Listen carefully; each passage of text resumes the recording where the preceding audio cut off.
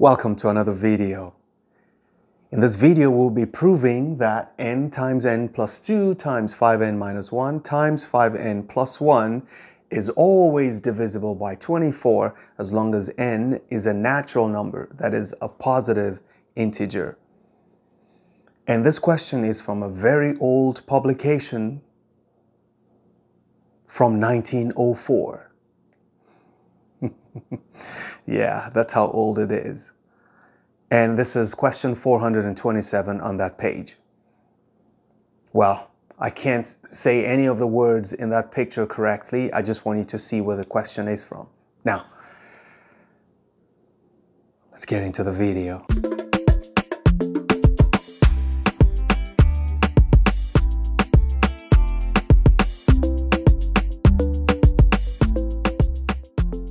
So after thinking about it a little, I knew that if you had to work with 24, it was necessary to pay attention to the prime number that divides 24, which is 3.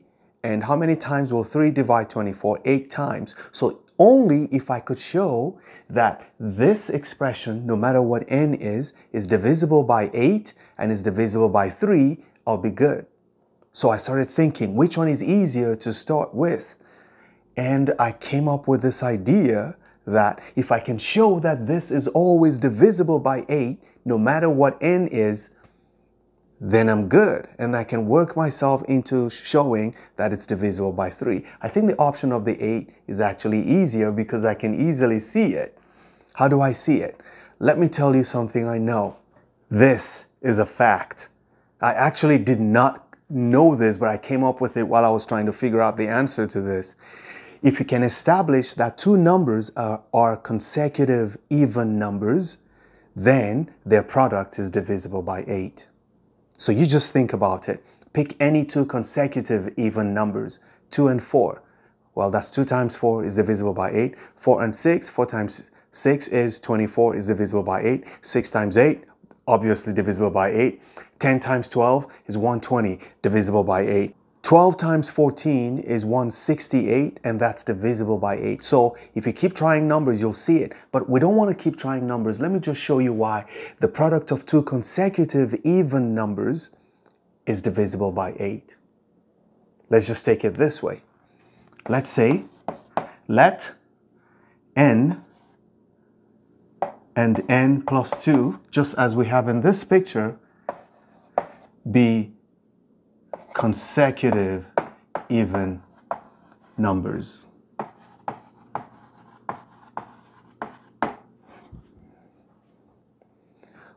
We just need to know that if you multiply these two numbers, they're going to be divisible by 8. How do we know? Well, because this is even, we can write it as 2k.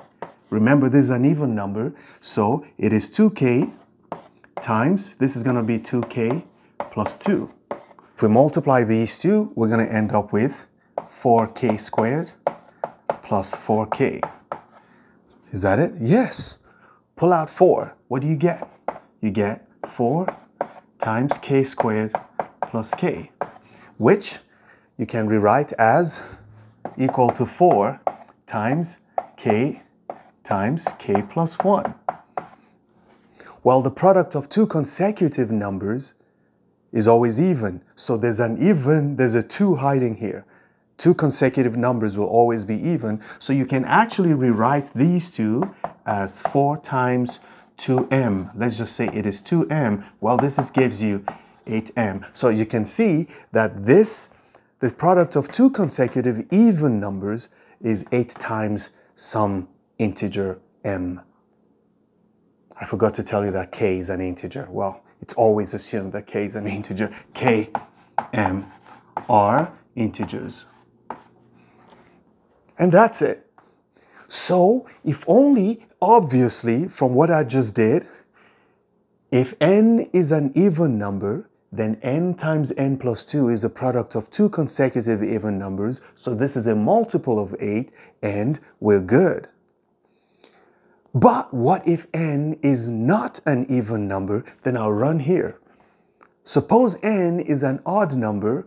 it means these two numbers will be odd numbers, so I can work with them. I gotta come here and say 5 times an odd number is odd. Odd minus 1 makes it even, so this is even. Odd plus 1 is even. So these are two consecutive even numbers again, because any number minus 1 times the number plus 1 is two consecutive numbers that are both even, they have the same parity. That's what I'm just saying. So here, these would be two consecutive even numbers, and you're to get that this is divisible by 8. So however you view n, whether n is even or odd, these are two consecutive even numbers. So this is what I'm to say. Since the product of two consecutive even numbers is divisible by 8, I can say that n times n plus 2 is divisible by 8 if n is even. Or 5n minus 1 times 5n plus 1 is divisible by 8 because each of them is even and therefore if n is odd. So we're going to say this works for even and this works for odd. And that's it. Because if n is odd, this is going to be even and this is going to be even and they're two consecutive even numbers and we're done. So we have shown, therefore, Therefore, n into n plus 2 into 5n minus 1, 5n plus 1 is divisible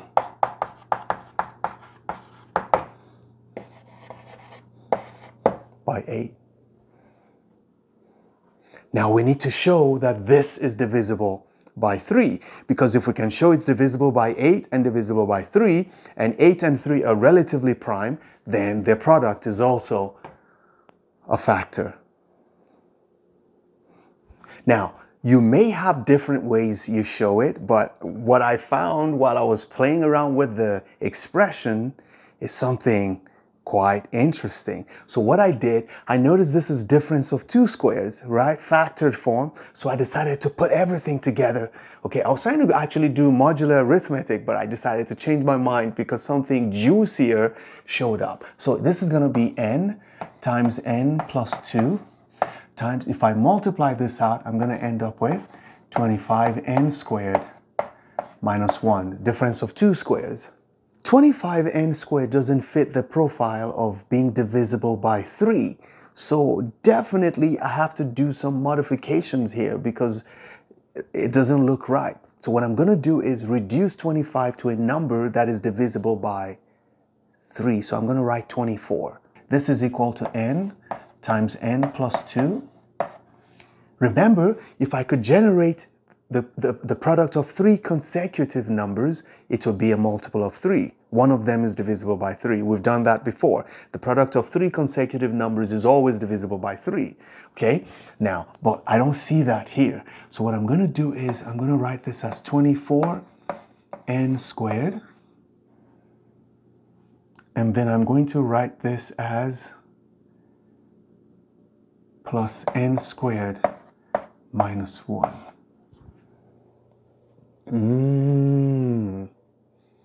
Mmm. I already see the answer because what I see now is I see n times n plus 2 times 24n squared plus this is difference of two squares. I can write it as n minus 1 times n plus 1. Nice. Nice. Now I'm going to take this and multiply what I have here and see what it looks like. This is going to be 24 n cubed n plus 2 plus this times this times this, look at what you see. It's going to be n minus 1 times n times n plus 1. Do you see what I see? Oh, there's something missing here. I forgot to put the n plus 2. So it's going to be n plus 2. So now look at what I'm looking at. If you look at this term, can you divide this term by 3? Yes, because there's a 24 sitting here. So we don't care what this is. All we know is that this is divisible by 3. Is this divisible by 3? Well, we don't care about this guy. Actually, we do. oh, this is rich in consecutive threes because if you multiply these three, because these are three consecutive numbers, it's divisible by three. And if you focus on this, it's also divisible by three. So whatever you want is available. So we know that this is divisible by three. Here, you can say if and remember from our number theory understanding, if two numbers are divisible by the same, by another number, then their sum is also divisible. Let's just put that somewhere. Um, recall? Okay, let me just put a small box here. If A divides B and A divides C, then A divides B plus or minus C. It doesn't matter what you do with the two of them, A will divide any linear combination of B and C. So that's it. Because 3 divides this and 3 divides this and 3 will divide the sum. But what is the sum of this? Well, we go all the way. This is it. It was this that we broke down. So we say, therefore, 3 divides this guy n times n plus 2, I'm running out of space, times 5n minus 1 times 5n plus 1. So we have established two things. This part, 3 divides it. We've already established this also. 8 divides it. So because 3 and 8 are factors, 24 must also be a factor. Okay, since 3 and 8 are factors, then 24 is also a factor. It would be great for me to say, therefore, blah, blah, blah is divisible by 24, but there's no space. So do that for me in your mind. Okay. Never stop learning. Those who stop learning, stop living. Bye bye.